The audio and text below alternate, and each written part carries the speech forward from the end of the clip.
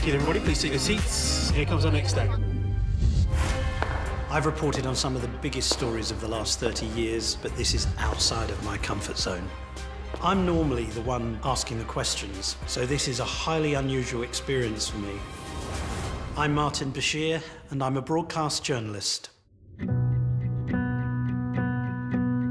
Okay. Go. What are you going to ask me? Being a journalist involves trying to make the headlines. I've been very fortunate because I've made the headlines on several occasions. So I interviewed Michael Jackson, I've travelled with Pope Francis on three occasions, and I interviewed the late Princess of Wales, Princess Diana, and I had no idea of quite how much of an impact that interview would have. It was a big, big moment. I've been a broadcast journalist for 36 years, but throughout my life, I've been obsessed with reggae. Bring it. That started when I was about five years old. The family above us used to play this music, and it just got into my bones. I've often sung Getting Jiggy with it in the car, but my kids absolutely hate it. And they would put their headphones in, like and then they'd business. shout at my wife saying, Mom, tell him to shut up. Because they couldn't stand me singing it.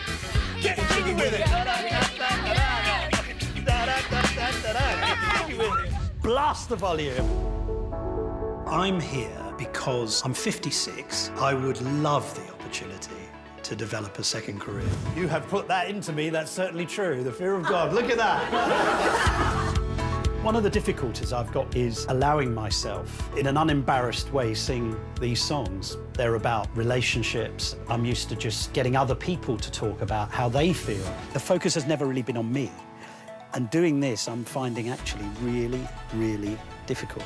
If I was to get through to the live shows, to be perfectly honest with you, I cannot imagine that happening.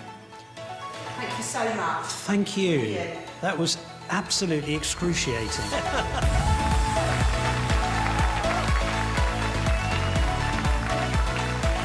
That's not Martin Bashir. No. No. Oh my God. Oh. What are you doing here? I'm beginning to ask that question myself. I love him. When I first received a phone call, um, I thought it was a tabloid newspaper trying to stitch me up. They said they worked as a producer for this program. I met them, checked them out, obviously, investigated them, found out how many marriages they'd had and whether they had any liens or financial problems. And uh, at that point, I was satisfied that they were, they were honourable and truthful. Um, Martin, what are you going to sing? I'm going to sing a song that was sung by Nat King Cole. And uh, it's an extraordinary song, but I'm going to give it a shot. Good. Let's hear it. Okay.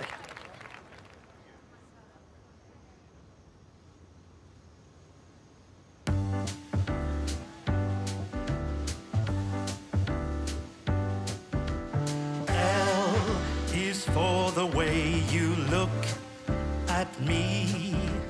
O is for the only one I see. V is very, very extraordinary. E is even more than anyone that you adore can love. Is all that I can give to you.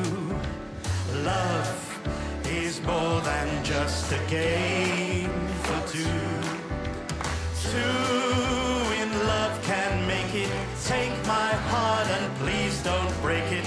Love was made for me and you. One more, take it up here. L is for the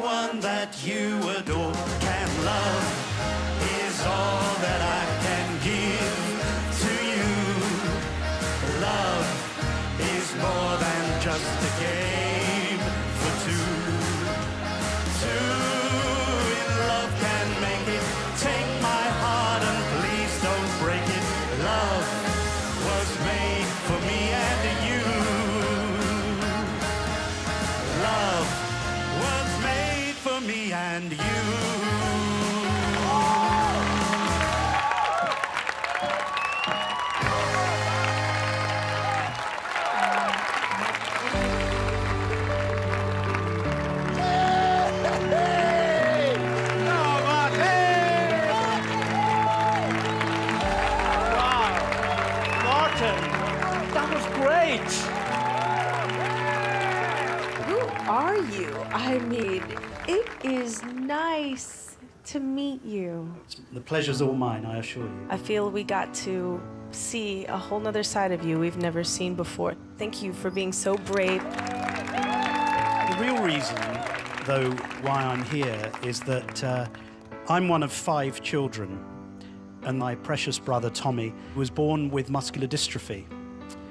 When you grow up with a child and you fight over toys and you're aged four and he never fights back, and then by the time he's 13 he can't feed himself, you feel that you have no excuse for turning down opportunities. Tommy died in 1991. And every time I've faced a challenge, I've heard him whispering, saying, What excuse do you have?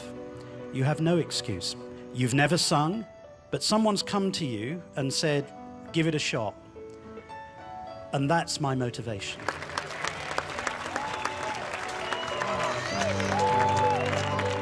He's literally stolen everyone's heart. You're so lovable. Thank you. Thank you so much. Yeah. Thank you. I didn't think you were going to be that good. You won us all over. Look, Martin, it's not always about the best singer. For me, it's always about the person, the story, and how we related to your story. It meant a lot. You know what? The most important thing to me is the element of surprise. And you don't have to be the best singer on these shows. And this show, more importantly, is called The X Factor. And you just showed us that X Factor. This has been my favorite moment of the evening.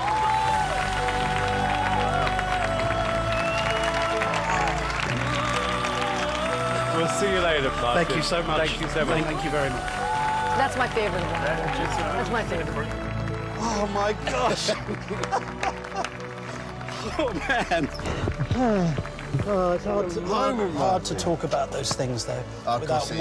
weeping. But um, it's true. you What a lovely mantra for life, though. Yeah, yeah, absolutely. You have no excuse. Yeah. He was in that moment. You know why? Because he meant it, what he was singing about. Well done. Thank you. Well done. Thank Great, you. Martin. Congratulations. Thanks so much. Thank you. You are an absolute legend.